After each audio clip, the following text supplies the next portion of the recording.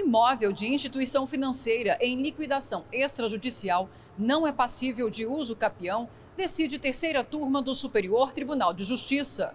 O colegiado decidiu que o imóvel de propriedade de instituição financeira que se encontra em regime de liquidação extrajudicial é insuscetível de uso capião, que é o direito que o indivíduo adquire em relação à posse de um bem em decorrência da utilização por tempo determinado, contínuo e incontestado.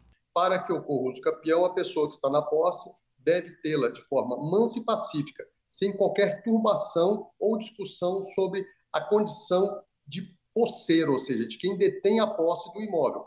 Existindo qualquer discussão sobre esse tema, não se pode aplicar o princípio do uso capião. A ação de uso capião foi proposta por dois autores contra a instituição financeira em processo de liquidação extrajudicial.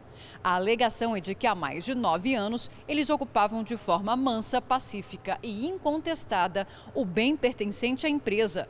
Na primeira instância, o pedido foi negado sob o fundamento de que a liquidação extrajudicial e, por consequência, a indisponibilidade dos bens da instituição impede a fluência do prazo de uso capião. A decisão foi mantida pelo Tribunal de Justiça de São Paulo. No STJ, os autores da ação sustentaram, entre outras coisas, que a indisponibilidade de bens prevista na Lei 6.024 atingiria apenas o devedor. Segundo o relator, ministro Ricardo Vilas Boas Cueva, permitir o curso ou o ajuizamento de ações de uso capião após a decretação da liquidação extrajudicial acabaria por permitir o esvaziamento do patrimônio da instituição financeira em detrimento dos credores.